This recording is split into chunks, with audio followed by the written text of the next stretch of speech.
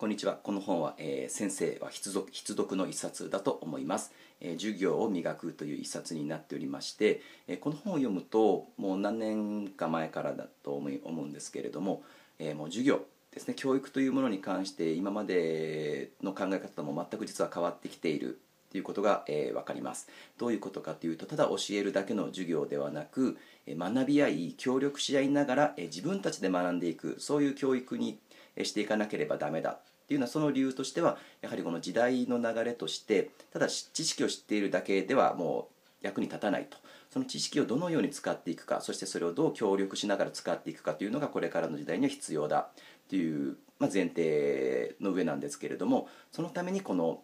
アクティブラーニング自分たちで学んでいくというようなそういう方法が書かれていましてで、まあ、その方法論もあるんですがこの本で一番大切なのは何よりもそれを教える先生の考え方っていうものを根本的に変えなければいけない。そのためにはじゃあどういうふうに考えればいいのかっていうことが書かれていました、えー、ぜひ読んでいただきたい一冊です。以上です。